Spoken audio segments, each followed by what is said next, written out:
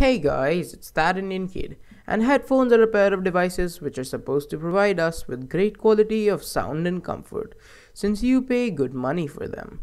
But has there ever been moments where you bought a new pair of headphones and somewhere deep inside your heart you felt, hmm, they aren't as good as I thought they would be, but you still try to use them even while they're just unbearable? So if you're not one of these guys, I guess you have some great shopping luck to begin with.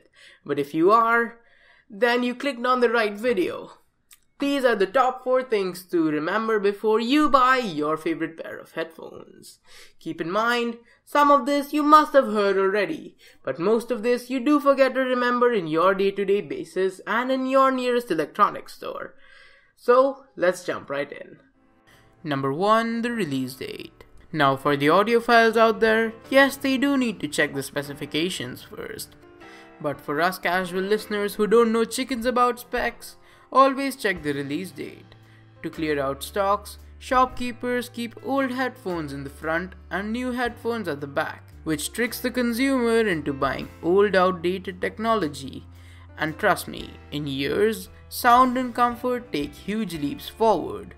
Sometimes the product is even discontinued for good, and discontinued stuff is never trustworthy. Number 2. Look out for knockoff brand names.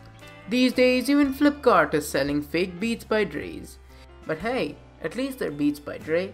Of course, this doesn't apply to people who really want to flaunt around with their brand new knockoff Beats by Dre. I'm not judging anyone since money is an issue everywhere, but if, I, if you consider sound, do look out for these. Number 3 Trial Booths.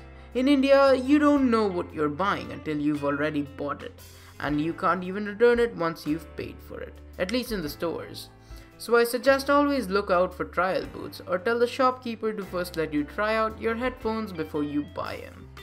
You will be sure what you're about to buy this way, since returning stuff here is next to impossible. Finally, number 4 Reviews. If you really like that something in the store you saw, with all sorts of designs on it and colors and flashy stickers etc etc, don't pay for it right away. Don't be the impulsive shopper. Take out your phone, turn on your mobile data and watch or read a review or two. You would know what you're buying. And having this said, this sums up our guide. If you try to acknowledge even one of these while shopping, for any electronics you won't possibly go wrong.